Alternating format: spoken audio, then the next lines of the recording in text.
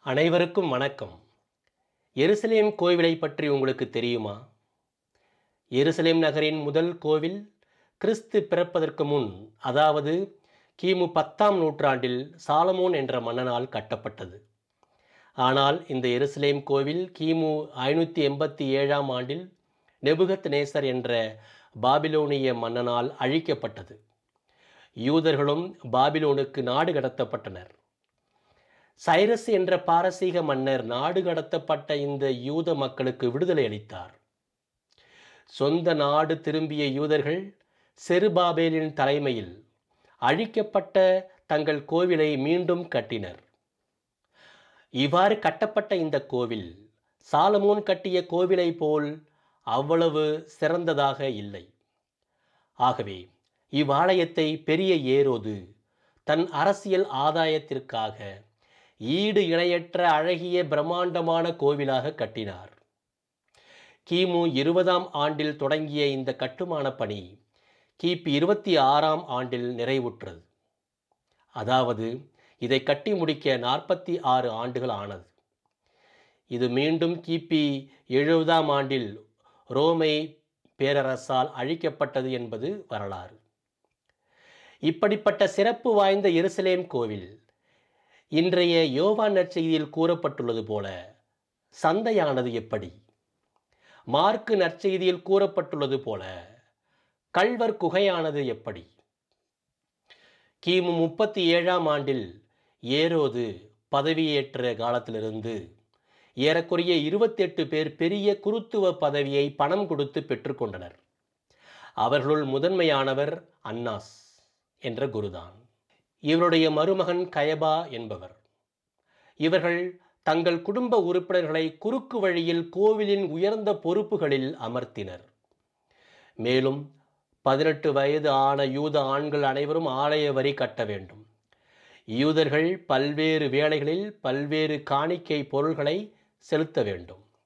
காணிக்கை பொருள்களை கோவில் வளாகத்திலேயே வாங்க வேண்டும். ஆலய வளாகத்தில் விற்கப்படும் பொருட்களின் விலை அதன் உண்மை விலையை விட இருபது மடங்கு அதிகமாகும். ஆலயம் வெளிப்புறத்தில் மிக அழகாக இருந்தாலும் அதில் இறைவனுக்கு இடம் இருந்ததாக தெரியவில்லை. பணமே வழிபாட்டு பொருளாகியது. மேலும் அந்த சமூகத்தில் ஒடுக்கப்பட்ட மக்களுக்கு அந்த ஆலயத்தில் வழிபட இடம் தரவில்லை. அதையும் ஆக்கிரமித்து கடைகளை அமைத்தனர். இயேசுவின் கோபத்திற்கு இந்த சமத்துவமின்மைதான் காரணம். இயேசு சில நேரங்களில் கடுமையான வார்த்தைகளை பயன்படுத்தி இருக்கிறார் கோபத்தோடு பேசியிருக்கிறார்.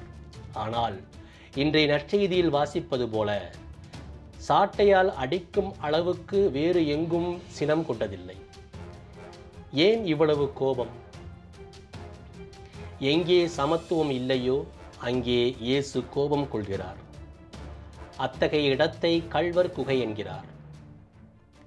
நாமும் சிந்தித்து பார்ப்போம். நம் ஆலயங்களில் இறைவன் வாழ்கிறாரா? அல்லது கல்வர் குகையாக உள்ளதா? எங்கே சமத்துவம் இல்லையோ அங்கே கடவுள் இல்லை. ஆலயத்திற்கு நாள்தோறும் வருபவர்கள் அதிகம் பெண்கள். ஆனால் திருவிழாவை நடத்துபவர்கள் ஆண்கள். தேரை இழுப்பது கூட ஆண்கள்தான். கோவிலை கூட்டுவது அழகுபடுத்துவது பூக்களை அமைப்பது அனைத்து வேலைகளும் பெண்கள்தான் அதிகம் செய்கிறார்கள். ஆனால் பங்கு பேரவையில் மட்டும் பெண்கள் இருக்க மாட்டார்கள். பங்கில் எந்த அதிகார மட்டத்திலும் பெண்களை சேர்க்க மாட்டார்கள்.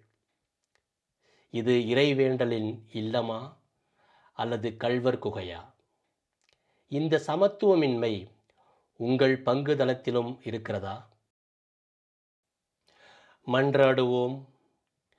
நீதியின் இறைவா எங்கள் உள்ளத்தை நீர் தங்கும் ஆலயமாக மாற்றியறலும் எங்கள் உள்ளத்தில் எழக்கூடிய வேறுபாட்டு எண்ணங்களை எங்களிடமிருந்து அகற்றியறலும் நாங்கள் பால் இனம் நிறம் என்ற வேறுபாட்டை பார்க்காமல் எல்லோரையும் ஒரே தந்தையின் பிள்ளைகளாக பார்க்கும் அந்த எண்ணத்தை எங்களுக்குள்ளே உருவாக்கியறலும் ஆமீன்.